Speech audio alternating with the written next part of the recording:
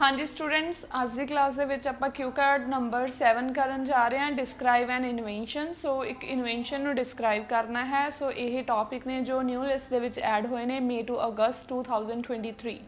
so what the invention is invention ਕੀ ਹੈ how you use this invention ਤੁਸੀਂ ਇਸ ਦਾ ਯੂਜ਼ ਕਿੱਦਾਂ ਕਰਦੇ ਹੋ whether it is difficult to use it ਕੀ ਕਹਿੰਦੇ ਹੈ ਡਿਫਿਕਲਟ ਇਸ ਦਾ ਯੂਜ਼ ਕਰਨਾ ਸੋ ਫਰਸਟਲੀ ਆਪਾਂ ਵਕੈਬ ਕਵਰ ਕਰਾਂਗੇ ਜੀ ਫਰਸਟ ਵਰਡ ਹੈ ਐਂਸ਼ੀਅੰਟ ਟਾਈਮਸ ਐਂਸ਼ੀਅੰਟ ਟਾਈਮ ਕੀ ਹੈ ਬਹੁਤ ਪੁਰਾਣਾ ਟਾਈਮ ਨੂੰ ਕਿਹਾ ਜਾਂਦਾ ਪਾਸਟ ਟਾਈਮ ਨੂੰ ਸੋ ਇਹ ਵਰਡ ਰੀਡਿੰਗ 'ਚ ਵੀ ਪੈਰਾਫਰੇਜ਼ ਹੋ ਕੇ ਮਿਲਦਾ ਹੈ ਸੈਕਿੰਡ ਹੈ ਜੀ idiom hard nut to crack ਕੋਈ ਜੇ ਡਿਫਿਕਲਟ ਹੋਣਾ ਉਸ ਨੂੰ ਲਾਈਕ ਪ੍ਰਾਪਤ ਕਰਨਾ ਠੀਕ ਹੈ ਉਹਨੂੰ ਅਚੀਵ ਕਰਨ ਦੇ ਲਈ ਕੁਝ ਐਫਰਟਸ ਕਰਨੇ ਪੈਣੇ ਆਪਾਂ ਨੂੰ ਇਦਾਂ ਲੱਗਣਾ ਵੀ ਇਹ ਬਹੁਤ ਜ਼ਿਆਦਾ ਡਿਫਿਕਲਟ ਹੈ hard nut to crack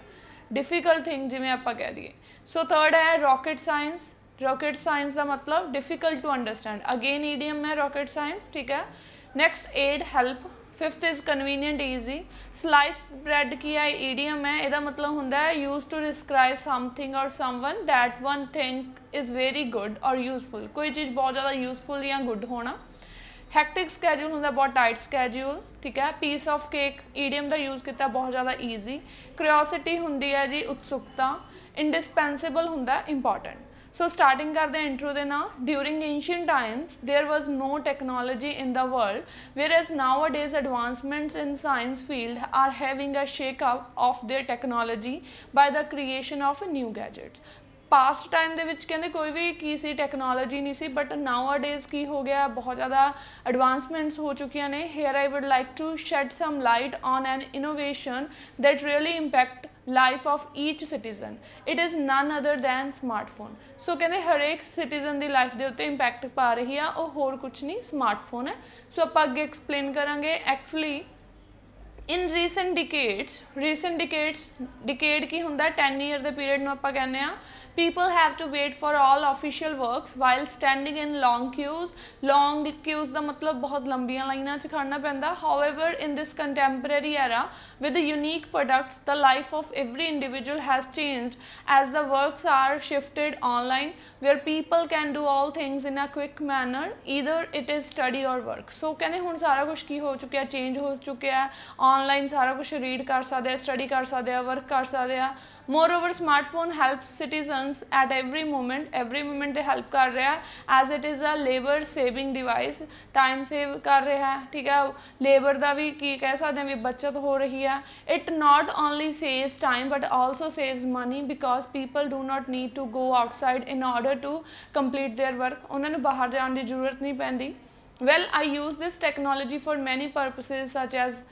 whenever i feel bored i listen to music with the help of smartphone beside this i do study online platforms also transfer payments to any person so eh tusi uses das the last te tusi keh sakde as i use smartphone other people are using it as a same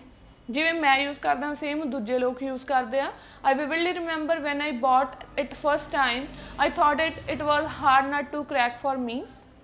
starting 'ਚ ਮੈਨੂੰ ਲੱਗਿਆ ਕਿ ਇਹਨੂੰ use ਕਰਨਾ difficult ਹੈ while with the practice I found it was not rocket science then practice ਦੇ ਨਾਲ ਇਹ ਯੂਜ਼ ਕਰਨ ਦੇ ਨਾਲ ਮੈਨੂੰ ਲੱਗਿਆ ਵੀ ਇਹ ਕੋਈ ਰੌਕਟ ਸਾਇੰਸ ਨਹੀਂ ਆ for me to learn about smartphone apart from this the creation of cell phone is beneficial for all age group ਸਭ ਦੇ ਲਈ ਬੈਨੀਫੀਸ਼ੀਅਲ ਹੈ whether they are senior citizen or youth in terms of senior community they make companion to these devices because not a single person has time to sit ਕਿਉਂਕਿ ਕਹਿੰਦੇ ਅੱਜ ਕੱਲ ਕੀ ਹੈ ਉਹਨਾਂ ਨੂੰ ਇੱਕ ਕੰਪਨੀ ਪ੍ਰੋਵਾਈਡ ਕਰਦਾ ਹੈ ਕਿਉਂਕਿ ਅੱਜ ਕੱਲ ਲੋਕਾਂ ਕੋਲ ਟਾਈਮ ਨਹੀਂ ਹੈ to sit along with their old parents in case of youth they use cell phones for entertainment work together with study purposes all in all that is an innovation which change people's life and make it easier so ਇਹ invention ਹੈ ਜਿਸ ਨੇ ਲੋਕਾਂ ਦੀ life ਨੂੰ easier ਬਣਾਤਾ ਹੈ ਤੇ change ਕਰ ਦਿੱਤਾ ਸੋ ਇਸ ਦੇ ਫਾਲੋਅਪਸ ਕੁਐਸਚਨ ਹੈ how has technology made our life easier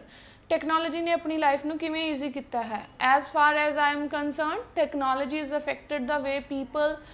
live so ਲੋਕਾਂ ਦੇ ਰਹਿਣ ਸਹਿਣ ਦੇ ਉੱਤੇ ਇਫੈਕਟ ਪਾ ਰਹੀ ਹੈ as I mentioned earlier people can do all the works with the aid of internet which is very convenient method rather than doing offline work ਕਾਫੀ easy method ਹੈ besides this technology has been entered in the houses where people can do all works without any physical efforts with electronic appliances such as vacuum microwave washing machine and so on so ਕਾਫੀ easy ਹੋ ਗਿਆ ਹੈ ਕਾਫੀ appliances ਆ ਚੁੱਕੇ ਨੇ